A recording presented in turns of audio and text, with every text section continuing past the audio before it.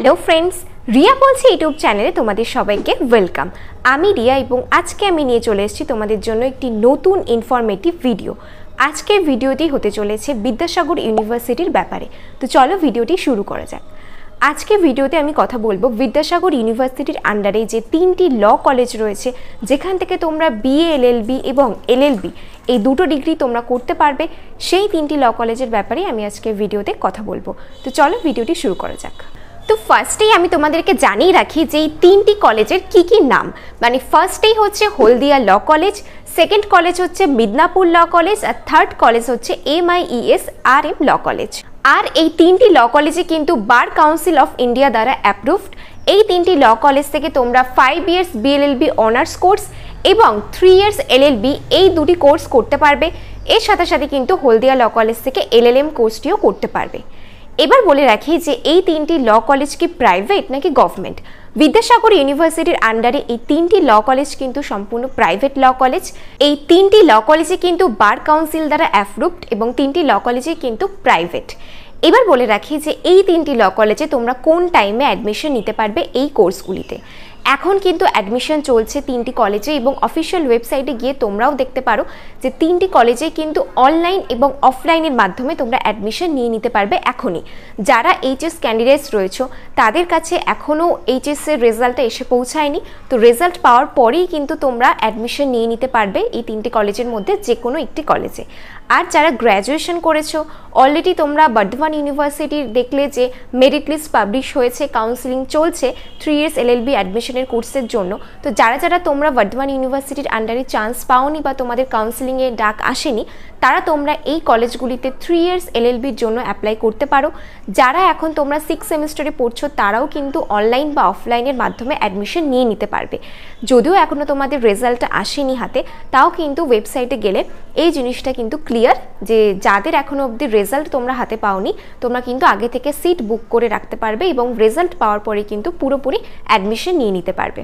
তো আমার মনে হয় যে এই সময়টাই বেস্ট এই ভিডিওটি বানানোর জন্য এবং এই ল কলেজগুলির ব্যাপারে তোমাদেরকে জানানোর জন্য। তো প্রথমেই বলে রাখি যে, এই যে কলেজগুলি তোমরা অ্যাডমিশন নিতে পারবে থ্রি ইয়ার্স এলএলবি এবং ফাইভ ইয়ার্স বিএলএলবি অনার্স কোর্সের জন্য, তাহলে কি তোমাদের কোনো এলিজিবিলিটি ক্রাইটেরিয়া থাকতে হবে? অবশ্যই।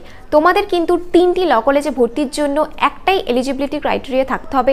যারা ফাইভ ইয়ার্সের কোর্স করতে চাও বিএলএলবি অনার্স তাদেরকে এইচএসএ মানে higher secondary ten plus two লেভেলের এক্সামে কিন্তু minimum forty five percent marks পেতে হবে। জেনারেল ক্যান্ডিডেটসদের জন্য আর forty percent ST SC forty two percent OBC ক্যান্ডিডেটসদের জন্য। আর যারা এলএলবি মানে থ্রি ইয়ার্স এলএলবি কোর্সে অ্যাডমিশন নিতে চাও, এই তিনটি ল কলেজের মধ্যে যে কোনো একটি কলেজ থেকে, তাহলে তোমাদেরকে কিন্তু গ্র্যাজুয়েশানে মানে টুয়েলভ প্লাস থ্রি এই কোর্সে গ্র্যাজুয়েশানে কিন্তু তোমাদেরকে minimum forty five percent marks পেতে হবে যারা জেনারেল ক্যান্ডিডেটস এবং এসসি এসটি ক্যান্ডিডেটসদের জন্য ফর্টি ও ফর্টি টু পার্সেন্ট হচ্ছে ওবিসি ক্যান্ডিডেটসদের জন্য। তো মিনিমাম যদি ফর্টি টু পার্সেন্টেজ মার্কস তোমাদের থাকে রেজাল্টে তাহলে অবশ্যই তোমরা কিন্তু অ্যাপ্লাই করতে পারবে এবং ডাইরেক্ট তোমাদের কিন্তু অ্যাডমিশনও হয়ে যাবে। তো বিদ্যাসাগর ইউনিভার্সিটির ব্যাপারে জানলাম, তিনটি ল কলেজের ব্যাপারে জানলাম এবং এটাও জানলাম যে তোমরা চাইলেই অ্যাডমিশন নিতে পারবে যদি তোমাদের ফর্টি ফাইভ পার্সেন্ট মার্কস থাকে আর এখনও নিতে পারবে অনলাইন অফলাইন যে কোনোভাবে কিন্তু ফি স্ট্রাকচার যেটা কিন্তু অনেক বড় একটা পয়েন্ট যে ফি স্ট্রাকচারটা তোমরা অ্যাফোর্ড করতে পারবে কিনা এই তিনটি ল কলেজে যেহেতু তিনটে ল কলেজই প্রাইভেট ল কলেজ আর এর সাথে সাথে কিন্তু আরেকটা জিনিসও জানাটা খুব গুরুত্বপূর্ণ, যে লোকেশান এই তিনটি ল কলেজ কোন কোন জেলায় রয়েছে ওয়েস্ট বেঙ্গলে তো ফার্স্টে আমি তোমাদেরকে বলব হলদিয়া ল কলেজের ব্যাপারে। এই কলেজের নাম তোমরা অনেকেই শুনে থাকবে। তো আজকের ভিডিওতে আমি এই কলেজের ডিটেলস একটা ইনফরমেশন তোমাদের সাথে শেয়ার করব।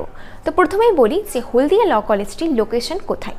তো হলদিয়া ল কলেজটি কিন্তু কোন ডিস্ট্রিক্টে রয়েছে? পূর্ব মেদিনীপুরে রয়েছে এবং পোস্ট হাতিবেরিয়া এখানেই তোমরা হলদিয়া ল কলেজে পড়তে পারবে এবং এই কলেজের বিশেষ কিছু সুবিধা রয়েছে, যেমন তোমরা স্কলারশিপ পাবে, এর সঙ্গে স্পোর্টস হোস্টেল এই সমস্ত ফেসিলিটিও কিন্তু এই কলেজ থেকে তোমরা পেয়ে যাবে।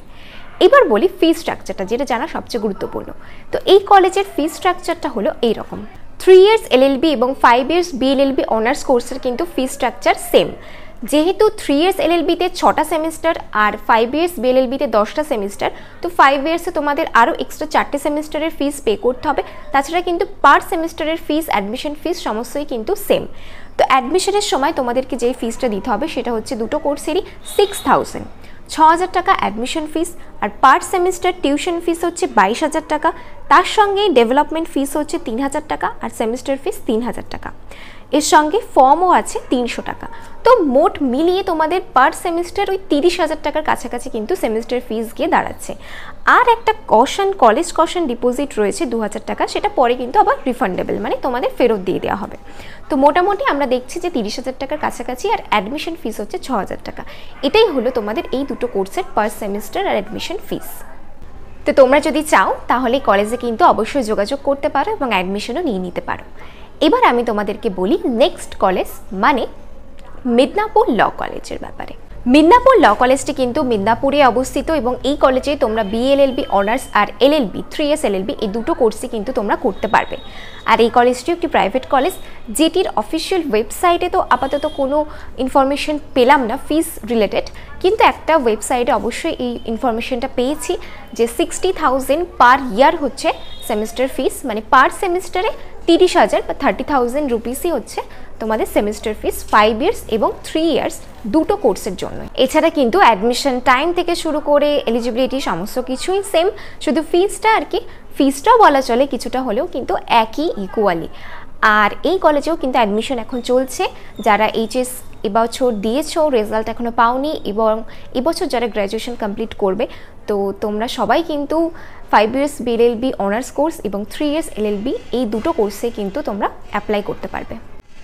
নেক্সট কলেজ হচ্ছে M I E S R M law college এই কলেজ থেকে তোমরা থ্রি ইয়ার্সের এলএলবি কোর্সটি করতে পারবে আফটার গ্র্যাজুয়েশন এবং এলিজিবিলিটির ক্রাইটেরিয়া প্রথমের মতো যেরকম বললাম, এটারও কিন্তু সেম এবার বলি ফি স্ট্রাকচারটা অ্যাডমিশন ফিস হচ্ছে fifty eight thousand eight hundred আর পার সেমিস্টার ফিস হচ্ছে thirty five thousand eight hundred twenty আর এই সঙ্গে ফার্স্ট সেমিস্টারে তোমাদের ফিস হচ্ছে থার্টি থাউজেন্ড তো total three years L L B ছটা সেমিস্টার অ্যাডমিশন ফিস আরও টুকিটাকি ফিস দিয়ে কিন্তু টোটাল তিন বছরের যে ফিসটা এসে দাঁড়াচ্ছে সেটা হলো three lakh nineteen thousand nine hundred তো মোটামুটি তিন লাখ কুড়ি হাজারের মধ্যে কিন্তু কমপ্লিট তোমাদের কোর্সটা পুরোপুরি কমপ্লিট হয়ে যাচ্ছে।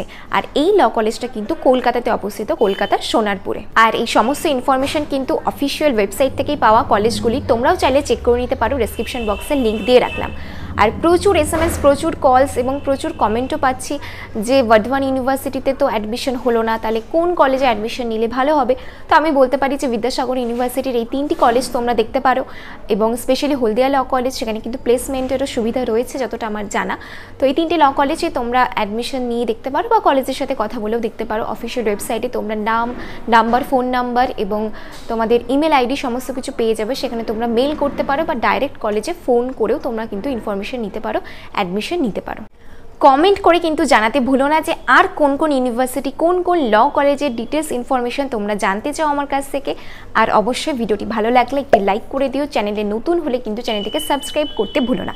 আরও নিত্য নতুন ইনফরমেটিভ টপিকে কিন্তু ভিডিও খুব তাড়াতাড়ি আসতে চলেছে চ্যানেলে যারা ক্যালকাটা ইউনিভার্সিটির আন্ডারে পড়তে চাও, আমার কাছে এন্ট্রান্সে প্রিপারেশন নিতে চাও, তারা অবশ্যই কন্ট্যাক্ট করো। আর একটা কমেন্ট বারবার পাই যে ফর্ম ফিল কবে হবে?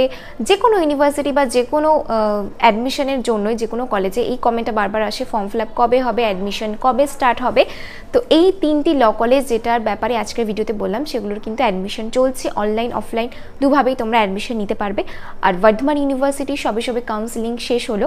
আবার যারা অ্যাডমিশন নেবে, তারা নেক্সট ইয়ার নেবে। আর ক্যালকাটা ইউনিভার্সিটিতে কিন্তু জুন, জুলাইয়ের দিকে এন্ট্রান্স এক্সাম হতে পারে এবং সেই সময় কিন্তু এন্ট্রান্স এক্সামের পরে অ্যাডমিশন হবে। আর ফর্ম ফিল কিন্তু জুন, জুলাই মাস নাগাদই হতে পারে। সেটা একবার জানিয়ে রাখলাম ভিডিও শেষে। তো আজকের জন্য এই পর্যন্তই। সবাই ভালো থেকো। বাই